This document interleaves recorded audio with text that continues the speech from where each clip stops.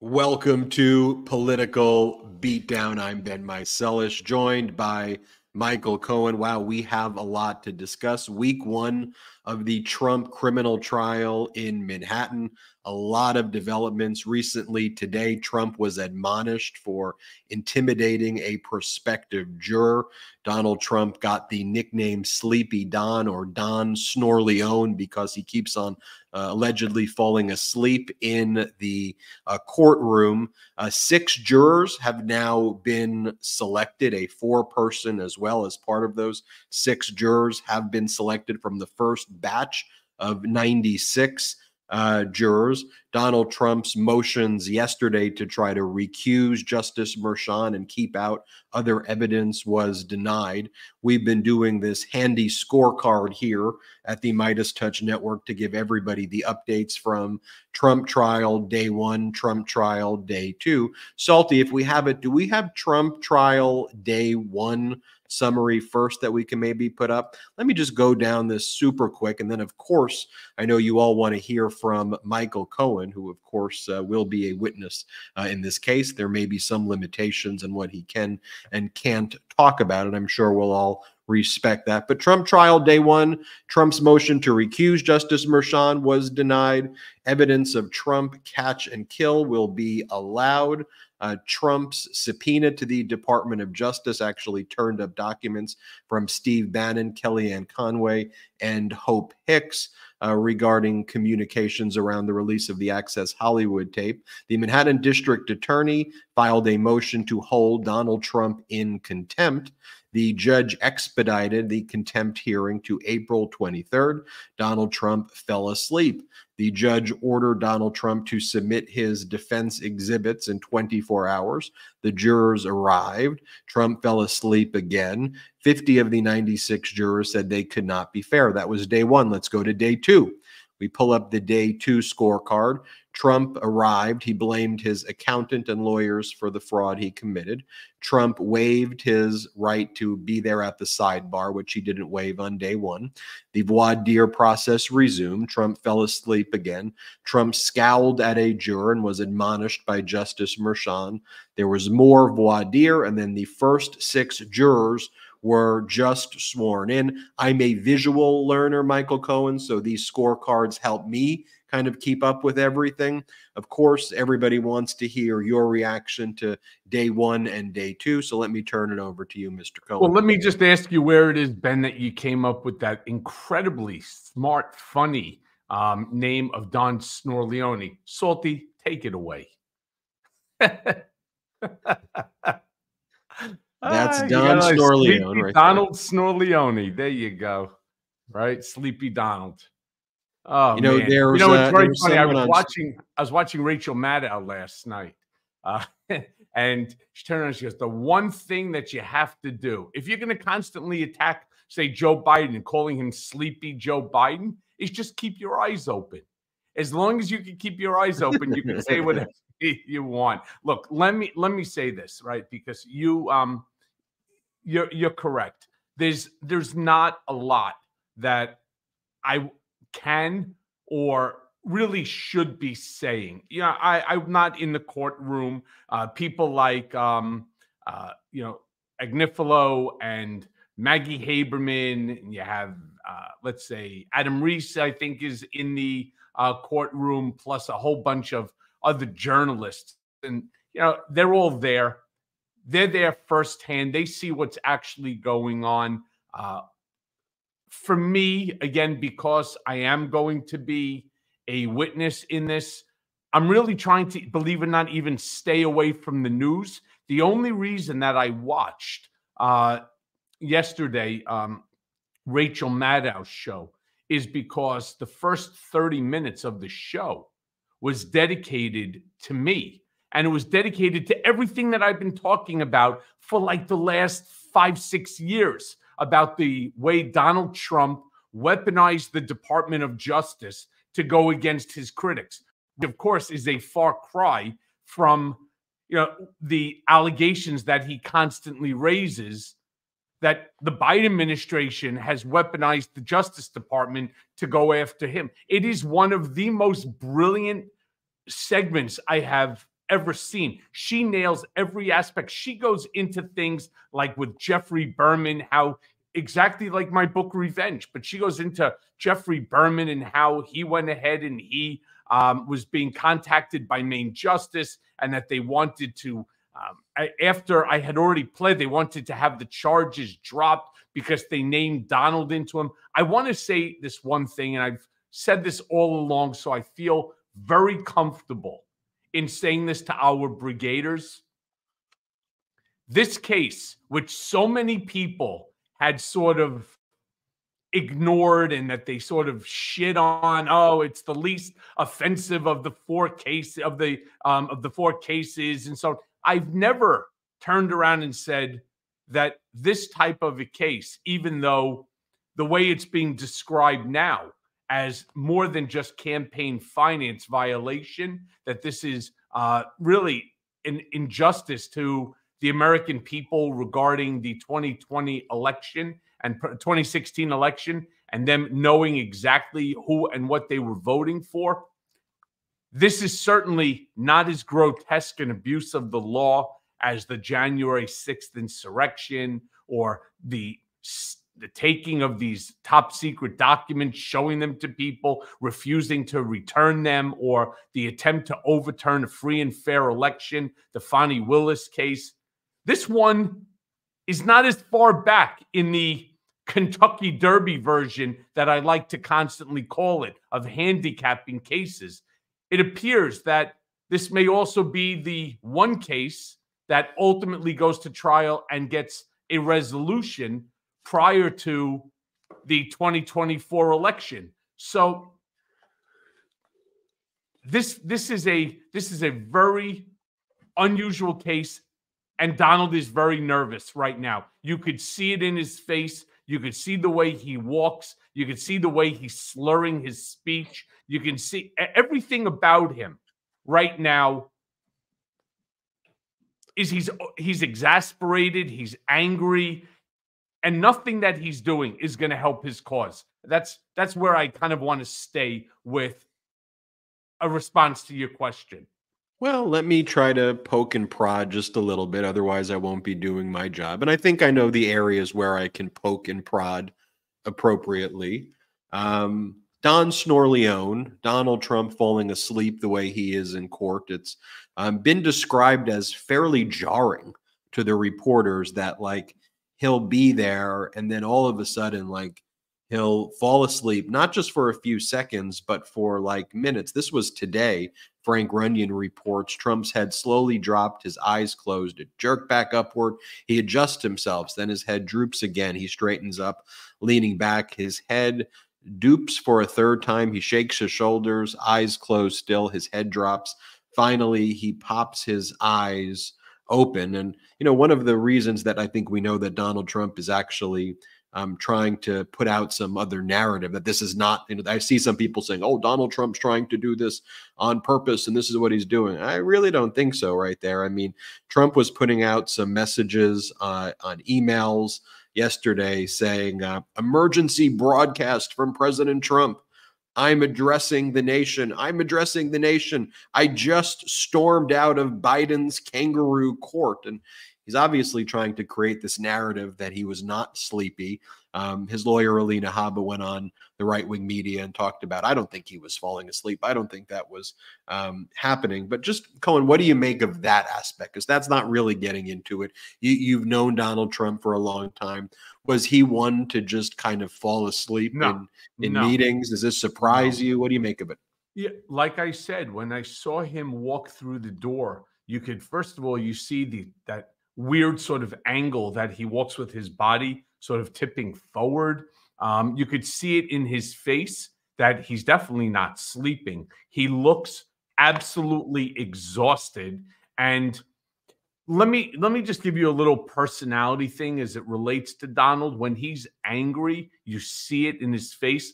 Um, he would not be a good poker player because his ticks and his tells are just written right on his sleeve. He's really freaking angry right now. He never thought that he would ever be sitting again in a defendant's chair, this time now It's not about the money. That, of course, is a real problem for him. But we're now talking about his freedom. We're talking about a criminal conviction. And he is furious. He thought that his lawyers would be able to escape, um, that he'd be able to escape accountability, that his lawyers would be able to, like the three other cases, somehow manage to push them off indefinitely, uh, and that he could be out there right now, whether he would be campaigning or not, whether he'd be on the golf course or not, whatever it would be.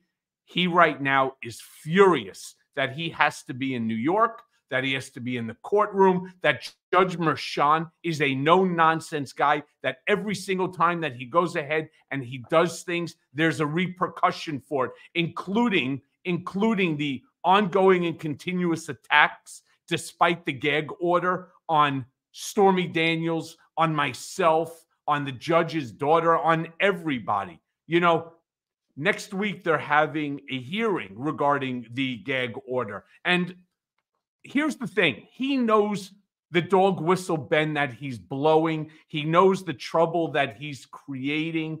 Um, he knows exactly what he's doing, and that's why he does it. He knows he knows that there's a there's a group of his acolytes of his supporters that are triggered by anything he says. So when he starts going after people, myself included, you can't imagine the amount of hate that comes at a person. And he knows it, which, as far as I'm concerned, is a form of witness intimidation and obstruction of justice. And I do really hope that the judge actually not just admonishes him, but really holds him to, you know, holds his ass to the fire because the last thing that we really, that I really want is I don't want to see anybody get hurt, especially myself. And what he's doing right now is a call to that. So I would say that I successfully poked and prodded on that one because I think I know where I need to stay away from and the types of things that I, I could be asking here. Donald Trump's, if you, if you think about the New York Attorney General civil fraud case, Donald Trump stuck to this one line that Justice Engoron valued Mar-a-Lago at $18 million. Could you believe it? It's valued at 50 to 100 times that. This judge is going to say that Mar-a-Lago is 18 million. Of course, that's not what Justice Engoron said. Justice Engoron was using Donald Trump's numbers. Trump devalued the property from around 400 500 million dollars to 18 million dollars so Trump could pay less taxes. Engoron didn't do an appraisal. and Engoron used Donald Trump's numbers. But I mentioned that because that's what Trump was saying. He he stuck to that line every press conference, right? Mar-a-Lago, Mar-a-Lago, Mar-a-Lago. Now, what's the new one that Donald Trump's been rolling out? That he really wanted to attend Barron's high school graduation on May 17th, and that Justice Merchan is preventing him from being at Barron's high school graduation. And Donald Trump writes, What am I supposed to tell Barron right now that this judge is not letting me go to the graduation? And again, that's false. Uh, Justice Merchan did not make any ruling one way or the other. Justice Merchan said it's mid April. I don't know if we're even going to have court on that date. So I'm not making a ruling right now. You're a criminal defendant. You need to show up. But let me just show you what I mean when Donald Trump, I mean, he posts this all the time now on Trump media. He has Alina Habba go and do the right wing media and saying, but he wanted to be at Barron's graduation. Let me just show you this from the press conference that Donald Trump gave at the end of court yesterday. Let's play this clip. So thank you very much. Uh, we had some amazing things happen today. As you know, my son is graduating from high school, and it looks like the judge will not let me go through the graduation of my son, who's worked very, very hard. Uh, he's a great student. I'm very proud of the fact that he did so well. I was looking forward for years to have graduation with his mother and father there. And it looks like the judges isn't going to allow me to escape this scam. It's a scam trial. And so let me just share this with you. This is from Jeff Pearlman's research, good reporter. Says in 1996, Donald Trump Jr. graduated from the Hill School in Pottstown, Pennsylvania. Donald Trump failed to attend graduation. In 2000, Ivanka Trump graduated from Choate, a boarding school in Wallingford, Connecticut. Donald Trump failed to attend graduation. In 2002, Eric Trump graduated from the Hill School in Pottstown, Pennsylvania. Donald Trump failed to attend graduation. In 2012, Tiffany Trump graduated from Viewpoint School in Calabasas, California. Donald Trump failed to attend graduation. And then in 2024, Barron Trump is graduating from Oxbridge Academy in Palm Beach. Thanks to legal proceedings, Donald Trump can pretend he had plans on attending. Not really hear Cohen talking so much about the stuff that you probably can't say as in the case, but from your knowledge and observation of Trump, him saying that he really wanted to. Well, I was going to say that. I was going to interrupt you before and turn around and say I wasn't aware that he went to any of the kids' um, graduations. Not to mention, you know, when it related to school here in Manhattan, this, of course, was prior, way prior to Trump uh, even deciding to run. Uh, it was Melania and I that put Barron into school here private school in Manhattan when ultimately uh, it was agreed that Melania and Barron were going to move to DC uh, and so on. It was Melania and I that went and got him into school uh, in Potomac in D- in DC. Uh, I find it not just comical, right? But I find it um, I, I I find it insulting that that's the big issue. You know, I missed my 25th birthday, my 25th anniversary, and my wife's 50th birthday because I was in Otisville, in part because of things that I had done at the direction of and for the benefit of Donald Trump. So before I start shedding a tear for him, for Barron, and I'm sure Melania is extremely excited he's not going to be there.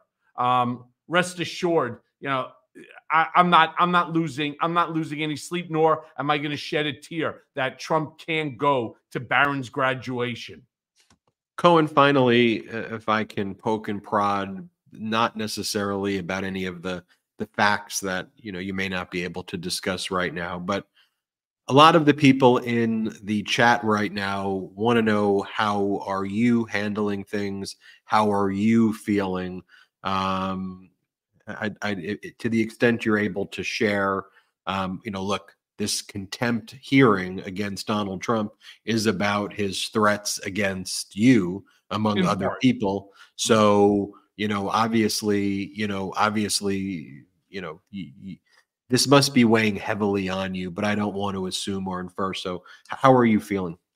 Um, had a little uh, blood pressure issue the other day. You know, I I was on uh, Sunday. I was on the weekend with Michael Steele and Alicia Menendez and Symone and uh, Sanders, and I'll, I'll, tell you, you know, um, it it was it was a fabulous um, two segments on the show, and I turned around and I had said, I don't want, I I don't know why people don't seem to either want to acknowledge this. I don't want to. I don't want to be a witness in this case. I've said it a do- at, least a dozen, if not two dozen times. I'm a subpoenaed non-party witness to this case. I didn't turn around and say, oh, "Oh, oh, oh, oh, can I, can I, you know, can I testify? Can I testify?"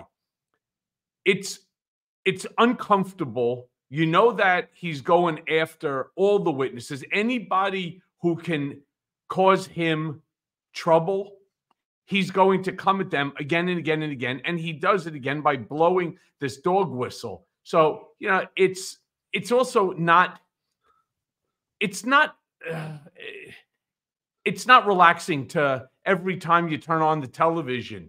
There they are talking about you. Uh you know this is again a case of first impression where the very first time in US history a former president is being criminally charged and can ultimately be found can I say not will I say can ultimately be found guilty by a jury of his peers.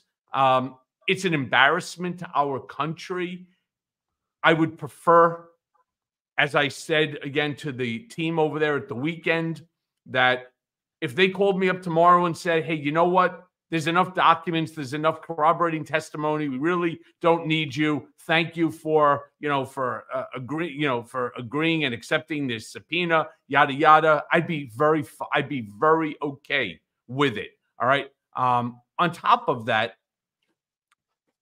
a big concern that I have, something Ben that I've shared with not just you, but I've shared it with the brigaders, is that he will ultimately be the Republican nominee for the presidency of the United States. Now, while I believe that this is going to be a massive blue wave victory, you never know.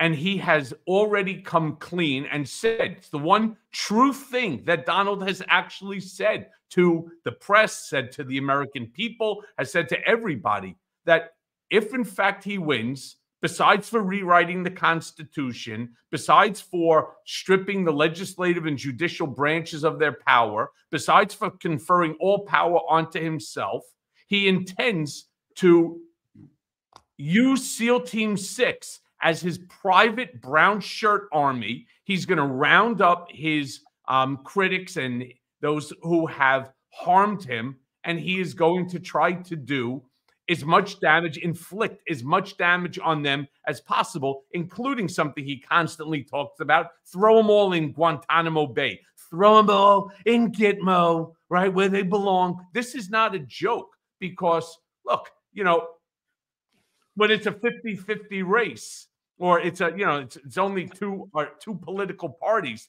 there's still a chance. And I certainly know that Donald is not thrilled with me. This isn't the old days that I could uh, that I could promise you.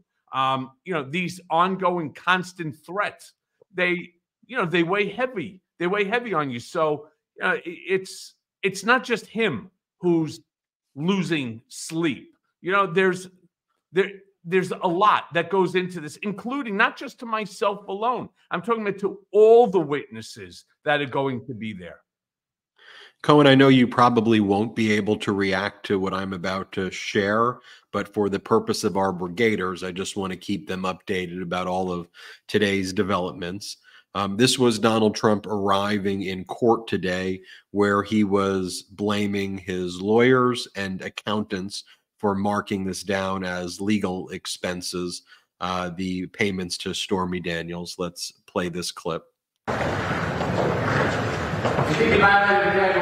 Thank you very much. This is a trial that should have never been brought. It's a trial that is being looked upon, looked at all over the world. They're calling, they're, they're looking at it and analyzing it. Every legal pundit, every legal scholar said this trial is a disgrace. We have a Trump-hating judge. We have a judge who shouldn't be on this case. He's totally conflicted. But this is a trial that should never happen. It should have been thrown out a long time ago. If you look at uh, Jonathan Turley, Andy McCarthy, all great legal scholars, there's not one that we've been able to find that said this should be a trial. I called a, I was, I was paying a lawyer and marked it down as a legal expense. Some accountant, I didn't know, marked it down as a legal expense. That's exactly what it was and you get indicted over that? I should be right now in Pennsylvania, in Florida, in many other states, North Carolina, Georgia, campaigning. This is all coming from the Biden White House because the guy can't put two sentences together. He can't. And then he had Alina Habba go on right wing media and compare Donald Trump. You want to I say something? I really have to jump in and say something over here. First of all, when Jonathan Turley is a Trump ass kissing fool. He's a law professor over that I am constantly fighting with on my Twitter. He's anything that he can do to suck up to Donald, he does. Do I think he's a legal expert? Absolutely not. All right. And I like the I, I like the fact how Donald says things, which is every single legal scholar. You know what, Ben? You're a legal scholar. You're a legal scholar to the same extent Jonathan Turley is. Do you think that there's a real case here? You know who actually believes that there's a real case here? Come on. We all know the answer to this one. How about Alvin Bragg? Right? the Manhattan District Attorney. He felt that there is a what he that there's a legitimate case here to be brought. It went before a grand jury. They indicted. And now he's sitting just like anybody else. Yeah, Jonathan Turdley, right? Anybody else would have, look, I got charged with it. If I could be charged with it, and the Southern District of New York put in their papers, Lanny talks about it all the time on television that they they um, call him individual number one. But if I could be if I could be charged with it and you know and end up doing uh, prison time for it, why is Donald any different than anybody else? Because if it was any one of our brigaders, I promise you, this case would have already been tried, decided, and you'd already be an orange somebody uh, somewhere, regardless of whether it was a jail or a prison. So you take it. Well, away. when yeah, Donald, you know, when Donald Trump's been attacking you, he's been saying things like, you know, and why isn't Cohen locked up in jail? Why didn't Cohen? And whenever he does that, I always say, I always think to myself, Cohen did go to prison. He was in Otisville, and then you locked him up in solitary confinement. Cohen, Cohen did his time, and you were individual number one in in the Cohen case. You know, and so anyway, let me show you what uh, let me show you what Alina Habba just said on right wing media. This, I believe, was on Fox, but she's been saying this across right wing media, comparing Donald Trump being admonished for intimidating a juror today to Nelson Mandela. Let's play this clip. Do you think that this threat of 30 days in jail will change the social media actions of the former president in any way, or will he keep doing this? I don't think so. I, I, think that he is respectful, but there has to be boundaries, and we should appeal it. It's currently on appeal. So there's also a due process element to this. We have items on appeal in this case that have not yet been heard. Is so, he concerned about the possibility um, we'll see, of being sent is... to jail as a ramification no. of these? He's not concerned about being sent to jail. I I don't. I, I, think, uh, like anybody, he's concerned about going to jail. But if they put him in jail for his First Amendment right, he will be like Nelson Mandela. I mean, right. that would be just absurd. And frankly, they'll win um, him the Alina, election. I just have a second. Yeah, I mean, comparing him to Nelson Mandela there. Um, let me show you this next what one, Cohen. Can, can, I, can I just jump in? Because, again, you're going to be the legal expert today, Ben. What's the First Amendment violation that he's talking about? As a defendant, as a defendant, you cannot attempt to witness, intimidate, or obstruct justice. That's not now. The judge turned around and said, "If you you want to talk about me, that's fine, but you can't talk about witnesses. You can't talk about his daughter. I mean, it's a very specific gag order, and gag orders are used all the time. I'm not so sure how they've extended this to First Amendment rights. You know what a First Amendment violation is? That two page counterfeit document that they shoved in front of my face and demanded that I sign it, or that, you know, what ultimately led to the unconstitutional retaliatory um, remand of me back to Otisville for another 16 days of solitary confinement because I wouldn't sign a counterfeit document that said that I couldn't speak, my family can't speak, friends can't speak, I can't publish a book, I can't do a movie, I can't do anything. Right? That's called a violation of the First Amendment. I mean, Alina, look, God, God bless her, she's an idiot. You know, Donald Trump's arguments are always whatever it is, I can do whatever I want right? Right. I have absolute presidential immunity. I can order SEAL Team Six to kill my political opponents. And if you are a former president or president, they let you do it. They let you get away with it. He his view of the First Amendment is that basically somebody who robs a bank and says, "Give me all the money," and then doesn't succeed in the bank robbery that that's not a crime because the first amendment give me all of the money as at least if it relates to Donald Trump is protected by the first amendment when in fact if you are engaged in speech in connection with and furtherance of a crime there are of course limitations. Donald Trump's argument in the Mar-a-Lago document case is that if you are a president or former president you can take any classified documents you can take nuclear secrets you can take war plans and if you put it in a box and then you ship it to Mar-a-Lago, it then becomes your own personal property that the government's nuclear codes belong to him. And then what he tries to say is this was like when Bill Clinton was taking notes for his autobiography in 1999, and that allegedly Clinton had personal notes for the autobiography in a sock drawer. And so Trump's like, it's like the sock case. Me stealing the nuclear codes is like somebody taking personal notes for their personal autobiography. Mine, mine, mine, mine, mine. So these are the arguments he makes in every single context that the rules don't apply with him. And of course, the Access Hollywood tape, which is going to be discussed in this trial, Donald Trump said when you're rich and famous and you're a rich and famous man, you can sexually assault women and they let you do it. That's Trump's word. and while the Access Hollywood tape itself can't come into this trial, it can be described and uh, discussed. I wanted to show this as well. This is Alina Habba when she was asked about Don Snoreleone, about Sleepy Don, Donald Trump continuing to fall asleep during the proceedings. Here's what she said. Just have a second, but you know, there's two reports both days of him falling asleep in, in court. Any reaction to that? Is he tired? Has he just been running around a lot? Or any thoughts on that?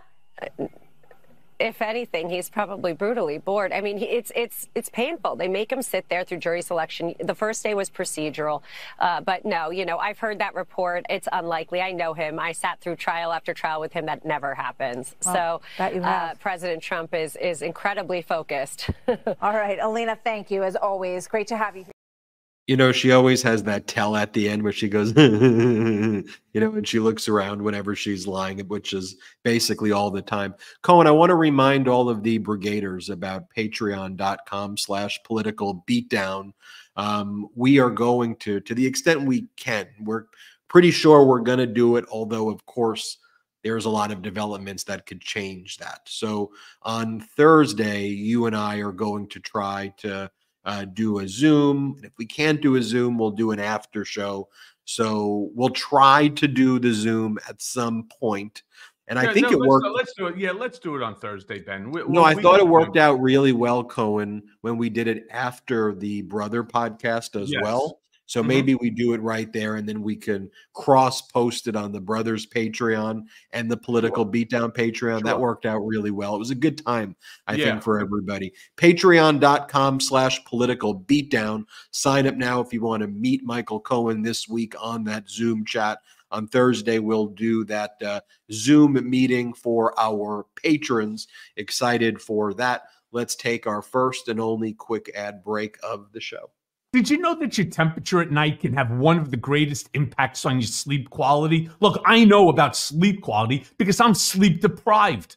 But if you wake up too hot or too cold, I highly recommend that you check out Miracle Made's bed sheets. It's inspired by NASA. Miracle Made uses silver infused fabrics and makes temperature regulating bedding so that you can sleep at the perfect temperature all night long. Using silver infused fabrics inspired by NASA, Miracle Made sheets are thermoregulating and they're designed to keep you at the perfect temperature all night long so you get better sleep every night.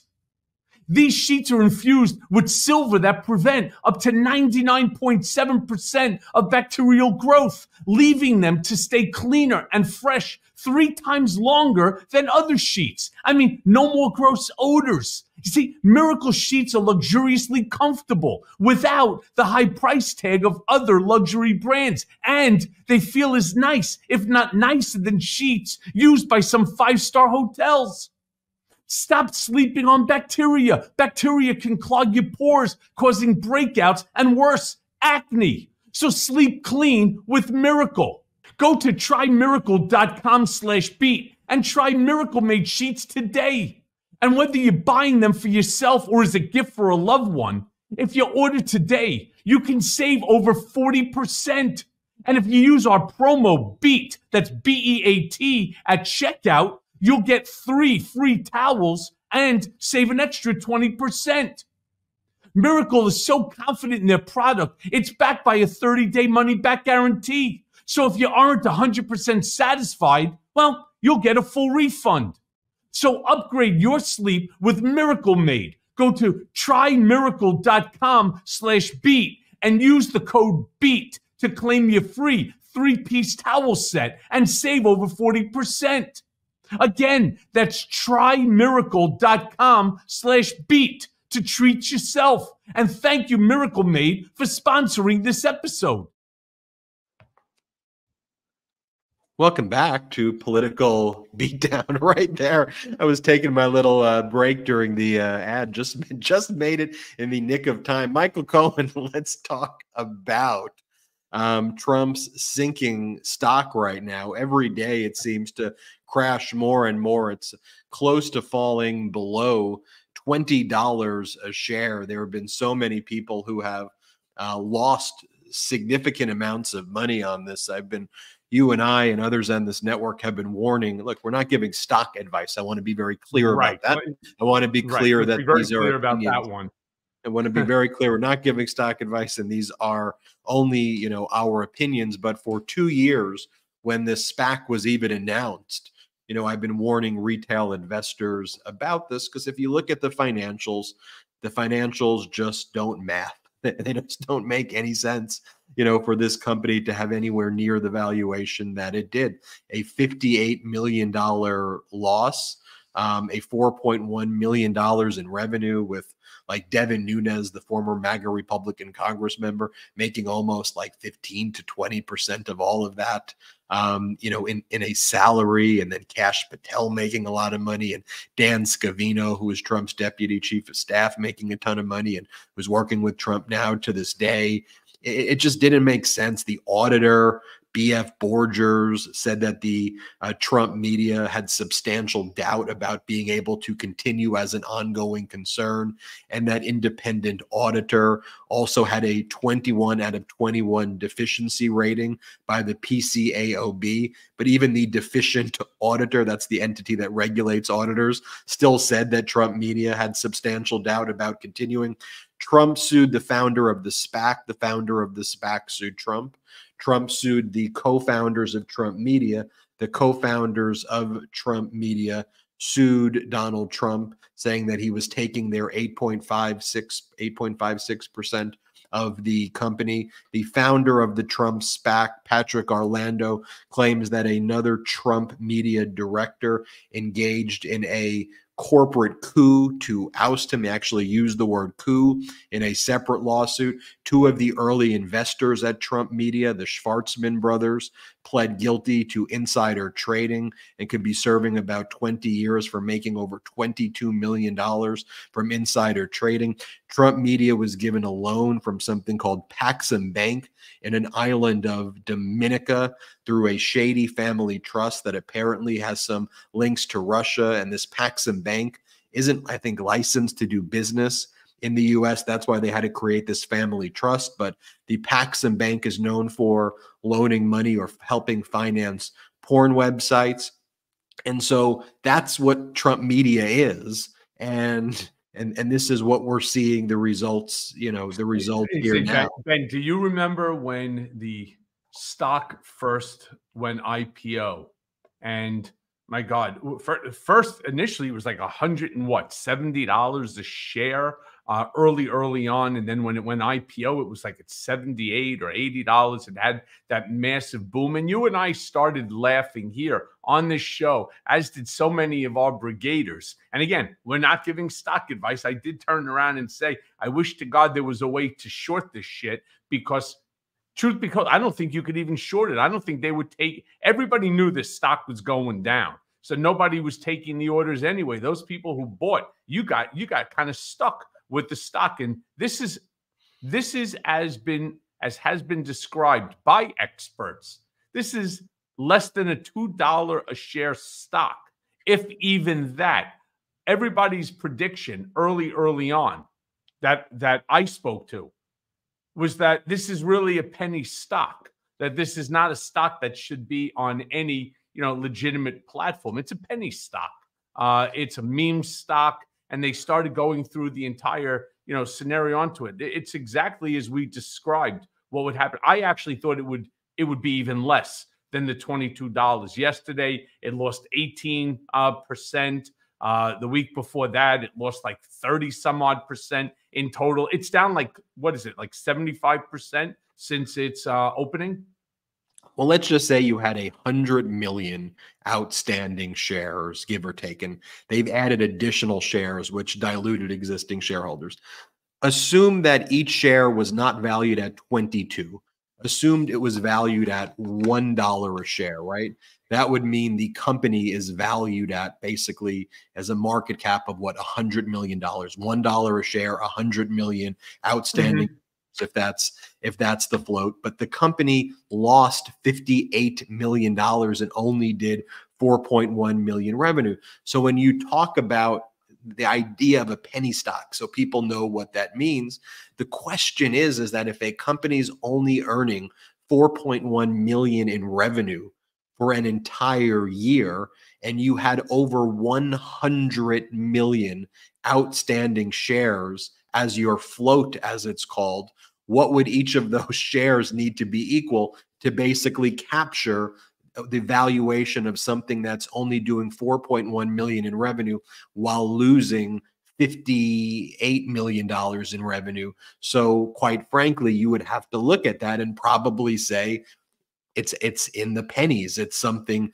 divisible from one dollar because in my again this is just opinions folks. one dollar would seem to over overvalue it just based on the simple math that i that i did right there. There's also another important deadline coming up that i don't think a lot of people are paying attention to which is if the stock is kept above $17.50 for a 20 day out of 30 day period. Donald Trump gets what's called an earnout. Now, his shares will still be locked, so he can't actually sell the shares. But I think an additional 36 or 38 million shares will then be added on top of that. And if you see the math that I did before, so let's say there's 100 million and then you added another 38 million and then you added another 38 million shares, when people talk about dilution, you see mm. why existing shareholders could then be diluted even further because what the market's trying to capture is okay, what's the value of something that's only earning $4.1 million a year. And just by reference, that's like the same amount of revenue that's earned by like a single solo McDonald's franchisee or a franchise, you know, a franchise McDonald's, just just one store. And so and and so and and not the whole company. So that's when we talk about the fundamentals here, and I'm somewhat oversimplifying. You, you know, it's funny though, Ben, Ben, because a lot of people, you know, in the chat are like, you know, why why should we care about this stock and so on? Because this stock and everything that Ben just described, it exemplifies who Donald Trump is and how he has run his life. Exactly. It it is it's an example of the way that he will run this country, which is identical to the disaster that he created in America when he was when he was the president in 2016 to 2020 right? This is the problem. He doesn't understand the game. And what ultimately, when this thing becomes completely worthless, and maybe if he's the only one that ends up pulling some money out, um, you know, and next thing maybe there'll be another a superseding charge that could come out of it. Who knows? He'll blame it on everybody else in the world. That's not what i do. I just put my name to it. It's the lawyers the accountants. It's devin nunes I mean, that's what he's going to do. It's what he does all the time. It's like when Ben, you guys showed the video of him walking in, he's blaming the lawyers, he's blaming his accountants, he's blaming Allen Weisselberg, in essence, right? Um, blaming me. He's blaming everybody except himself. This is a man who cannot accept responsibility for anything you know, a lot of people were questioning, like, why would the SEC even approve this thing? And what's interesting about that, though, is I think Donald Trump may have been surprised that the SEC approved it. Perhaps Trump was just banking on that he could whine about it and say, the Biden SEC stop this. This was going to make a hundred billion trillion dollars. I'm not sure. SEC- did the SEC even have to approve this? Because the way I, uh, as a SPAC, didn't they just do it as a reverse merger into a SPAC, and then it automatically, uh, it, it's. I mean, that's that's how it works when you you know reverse merger the the company into the SPAC, you actually get the opportunity to avoid a lot of the SEC requirements. You avoid the SEC requirements that are as stringent as the initial public offering mm-hmm. process, mm-hmm. but the S1 and the S2 documents have to all be signed off by the SEC. And mm, so, if the SEC yeah. finds that the forms are inadequate, and really what the SEC is looking at, though, is not necessarily financial viability of the company. That's not what the SEC is looking at. What they're looking at are are all of the disclosures that have to be made. Are they made? And if you actually look at the disclosures for the reverse merger documents that you discussed, there's a whole section that lists all of Donald Trump's bankruptcies. And it's like, this was bankrupt, that was bankrupt, this was bankrupt. And they have to disclose that to the shareholders. Then they go over all of Trump's businesses from Trump airplanes to Trump steaks to Trump University. It's like a dozen things about it, you know, maybe more. And then they did the bankruptcies before that. And it's a list of everything he's touched, most of the things he's touched on failure, failure, bankrupt, bankrupt, failure, failure, bankrupt, bankrupt. And the SEC's job is a disclosure. Did you mm-hmm. appropriately mm-hmm. make those disclosures? So they made the disclosure. So the SEC signed off on it. But the SEC was holding it up because the uh, there were two prior account or at least one prior accounting firm that quit and resigned and said you can't trust our financials basically so then trump got this bf borgers guy who has the high deficiency rate whose office in colorado looks like a rest stop bathroom off of the highway. And and Borgers was the one who basically signed off on it. But even in Borgers' sign off, Borgers says that Trump media can't exist as a um, ongoing concern. But look, President Biden, who's now leading in the polls, despite what Donald Trump says, President Biden's going on the offense and having some fun with it as well. Here's President Biden, though, talking about Trump's stock tanking. Let's play this clip if we got it. You know, I have to say, if Trump's stock in the Truth Social, his, his company, drops any lower, he might do better under my tax plan than his. Possible. Yeah, I thought that I thought that was a good line right there. Let, let me just share with you some of the um, you know headlines right here. So in terms of the average national presidential polling lead, and I hate talking about polls, but the right wing tries to flood the zone with such false data on polls that I think it is. I, I hate talking about polls, but we have to just rebut it with the data every time Donald Trump says, "I'm ahead of the polls." You, you are not. The national averages have President Biden up by about 1.2%, but I don't want to dwell and focus on polls. Let's talk about headlines, though. As Carl Quintanilla from CNBC explains, this week so far, US to grow at double the rate of G7 peers this year, says the IMF. The number of homicides plummets in major US cities. Envy of the world, US economy expected to keep powering higher economists lift their growth forecast in latest Wall Street Journal survey. And you would think the way right-wing media and media in general, you know, is talking about the current moment, Cohen, you would think that we were in like 2008 during the Great Recession. And, you know, these headlines that I'm but, sharing- but here's the problem though. They're d- Democrats, and I've been a Democrat most of my entire life. They're terrible at messaging.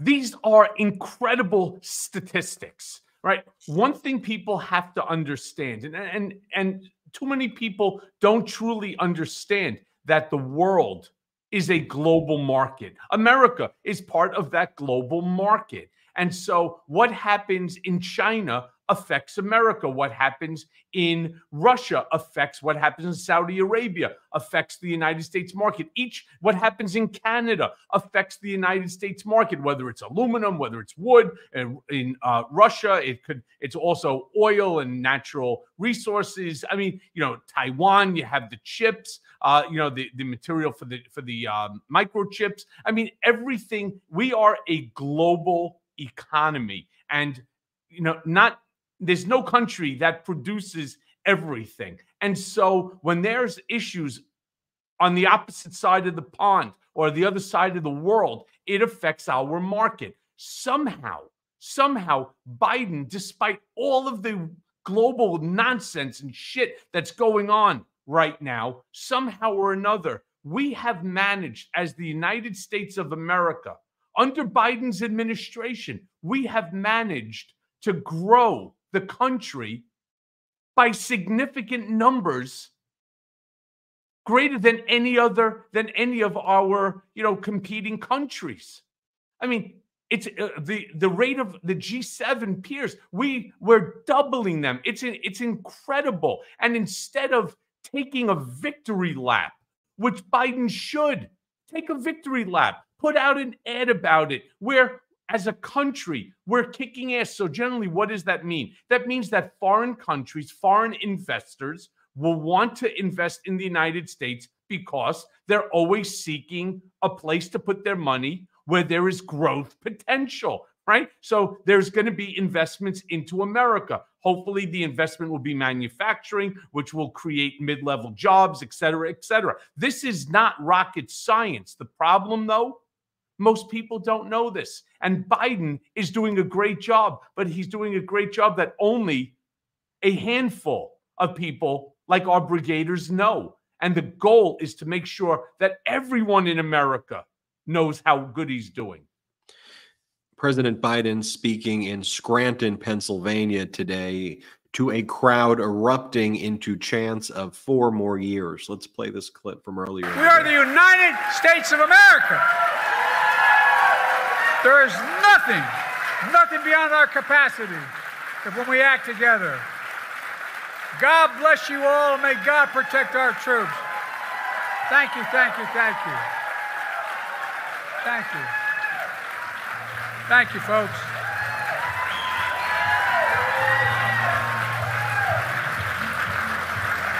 Thank you.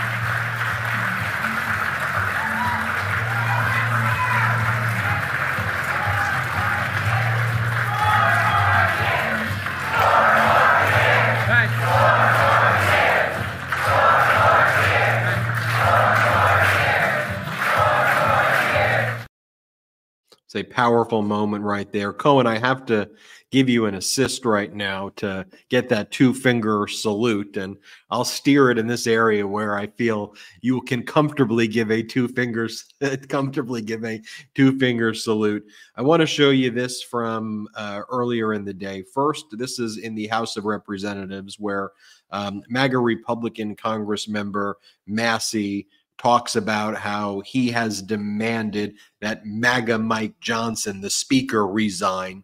So the MAGA Republicans are in utter chaos.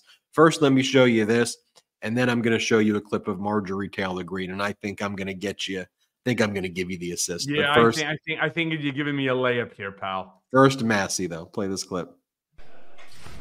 There's only one person right now who can stop us from going into what happened last fall, and that's Mike Johnson. He's cleaning the barn. That's obvious. So you want him to resign? You want him to resign? Yes. Yeah, I asked him to resign. What did he, what did he say? He said he would not. And then I said, well, you're the one who's going to put us into this. Because the motion is going to get called, okay? Does anybody doubt that? The motion will get called. And then he's going to lose more votes than Kevin McCarthy. And I have told him this in private, like weeks ago.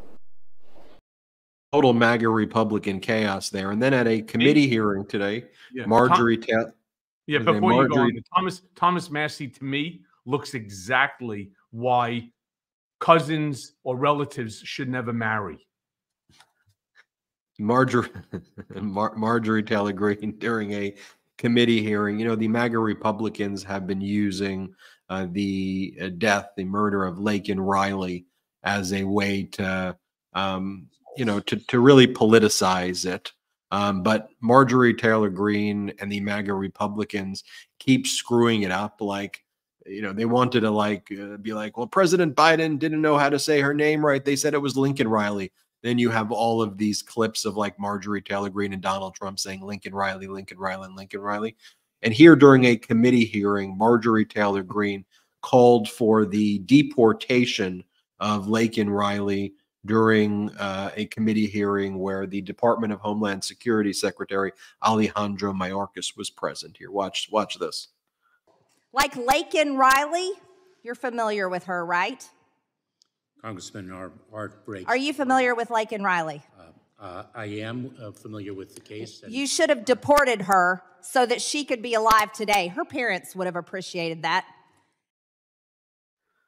Cohen.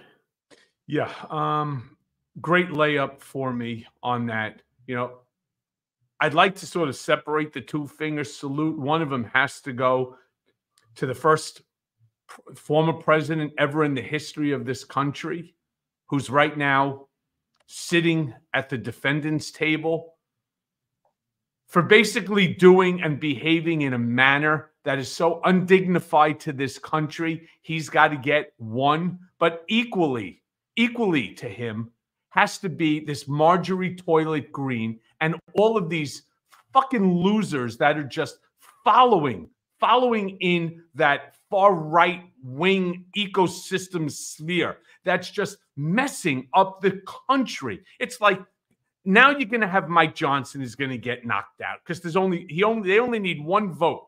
Only one vote separates it and he'll be out. So what happens to Congress? They're they're completely shut down until they ultimately find another. I'll tell you what I would do. You ready for this one, Ben? Brigaders, ready? Yeah. If I was the Democrats over there, I would turn around and say to Mike Johnson, tell you what you do, pal. Switch parties. Switch parties. And we will support you, and we will then have the plus one vote because it's all that separates them.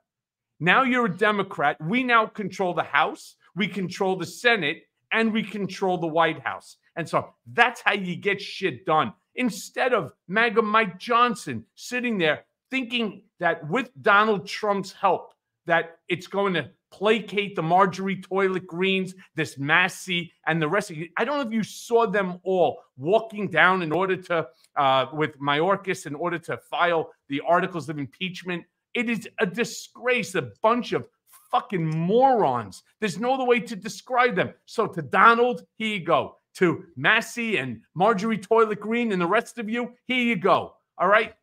Take it and do with it as you wish. There you have it, folks. Michael Cohen, appreciate it. So I want to remind everybody to sign up for patreon.com slash political beatdown. P-A-T-R-E-O-N dot com slash political beatdown on Thursday. We're going to do that after the brother podcast, after the brother live show. So that's 9:30 Eastern, 6:30 Pacific for a half hour hang out with Michael Cohen on this exclusive Zoom. If you ever wanted to meet Michael Cohen, that's a perfect time uh, to do that. Um, you know, we'll try to we'll try to keep it light again. The last time we did it was actually a was, was a ton of fun when we did it last week. We kept the topics light. Um, really appreciate you, Cohen. I know how busy things are for you right now. The fact that you're not spending- just that it's busy, Ben. I got to say this to the Brigaders too, since you you know it, because it's really um, thanks to you that I'm even able to. It's this is it's I I can't believe this. I was having this conversation with my mom, not not uh, not too many hours ago, and she's like, "Why, why is this taking such a toll?" On you, right? You're not the defendant here. You're just a non party subpoenaed witness. I mean, I don't know if you can tell. Ben, I'm legitimately down 25 pounds.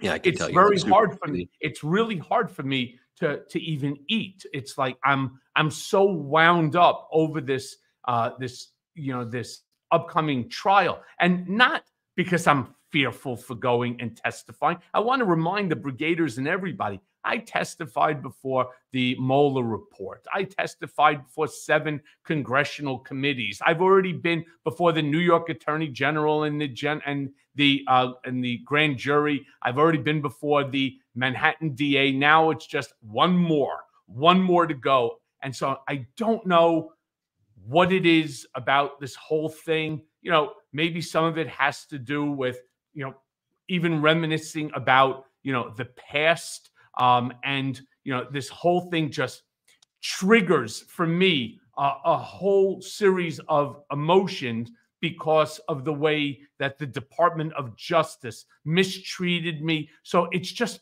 I'm overwhelmed by it. And maybe I'm also a little obsessive compulsive. I've been told that, you know, several times in my life. I, am a little OCD, uh, maybe a little more than most. Whatever it is, you know, it's, it's, it's weighing heavy on me, on my heart, on my my mind, my soul, my blood pressure is through the roof, right? But it's really the brigaders, it's you guys, and you know, and my my supporters over at Mea Culpa that you keep me you keep me going, you keep me breathing, you know, and you just keep me moving forward. It's so hard. I can't even explain it. I don't know if you've ever had anything in your life that feels like there's a wall in front of you and you just want to you just want to get on an airplane and leave. You just want to you want to go somewhere where nobody knows your name, where you just get to live your life. I can live my life with my wife. We're going on our 30 year. And I say 30 year, Ben, because you're just getting married very soon. 30 years, brother. All right. You know, and you know, just be able to take my my kids and try to recreate a life of what I used to have, you know, instead of how much was taken, you know, from me, not just not just emotionally and physically, but financially and everything. So, you know, I want to personally just thank all our Patreon members. I want to thank all our brigaders, and I want to thank you, Ben, and the brothers, because this outlet is um it's a source of my able my ability to just keep going. It's very it's very tough. Well, we're all here for you, uh, Michael Cohen. We're all uh, grateful for you, Michael Cohen. Um, I want to remind everybody as well that um, there are a lot of people who think they're subscribed to the MeidasTouch YouTube channel, but didn't actually hit the subscribe button um, because you check so frequently with the updates and it's so on your algorithm. But just hit the subscribe button right now if you're not subscribed. Also, make sure you subscribe to the Mea Culpa Blue, not the red. That's Michael Cohen's other podcast. That's what it looks like. It's blue, not red. Michael Cohen, Mea Culpa, Nothing But the Truth, a MeidasTouch Network uh, podcast. And uh, we're going to do something a little interesting here. If you all just stay in this room, we're going to uh, this is going to be transferred over to you know don lemon started a youtube channel and he's been featuring all the MeidasTouch people on that channel. He's had dina on and um, he's had karen friedman agnifilo and mockler and, and the whole crew.